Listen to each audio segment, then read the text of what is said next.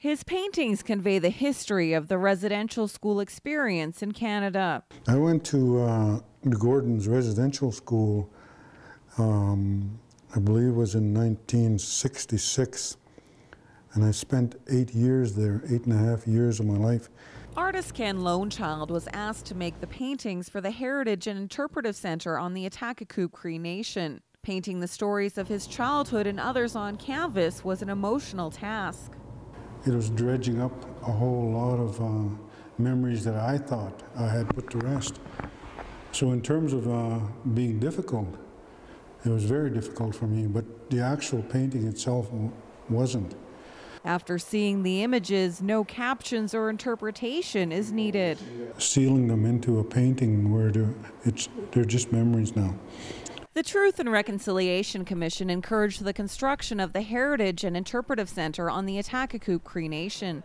The center will educate youth about what their parents and grandparents went through and honor the history of those who have passed on. Well, it's all geared towards the people, like in memory of the people who have passed on that have attended uh, the IRS program. Like it had the effects of it on our children now. So what we're trying to do is educate the, the youth so that they're aware how it affected their parents. Today, the Aboriginal community is still dealing with the social problems created by removing children from their homes.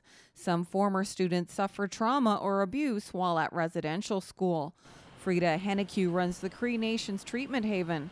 Henneque says the scars left behind from residential schools have contributed to addictions. Drug and alcohol abuse remains high in the Aboriginal community.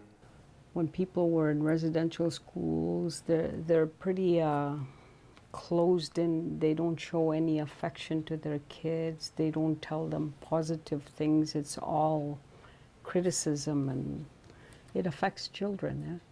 So whatever you went through in residential school, you pass it down to your, the next generation, and it keeps on going until the parents or the siblings deal with it. The Cree Nation's Treatment Haven is the only on reserve center with a methadone distribution program. It helps people withdraw from opiates. The center is currently seeking accreditation from Health Canada to run a detox center at the site. And what we're trying to do here is to to help them uh, get a better life out there where they don't have to be dependent on methadone, you know, for the rest of their lives. That's not what it's meant to be. It's only supposed to help for a short time. Audrey Badger was a client at the center more than 20 years ago. Alcohol, drug, lifestyle, uh, single parent, um, on social assistance, leaving my kids, neglecting my kids, abandoning my kids, all that kind of stuff. Um, all the fights, uh, attempted suicides. That was my life. She's now a counselor at the treatment haven. Residential schools contributed to problems in her family and some of the clients she sees at the center. And some others are understanding it. But uh, effects of it, there's a lot of uh, people in here with unresolved, unresolved issues from that uh, transgenerational ways of negative ways of coping, surviving, I guess. So we're learning new, new ways and then breaking a cycle. Many residential schools have been torn down.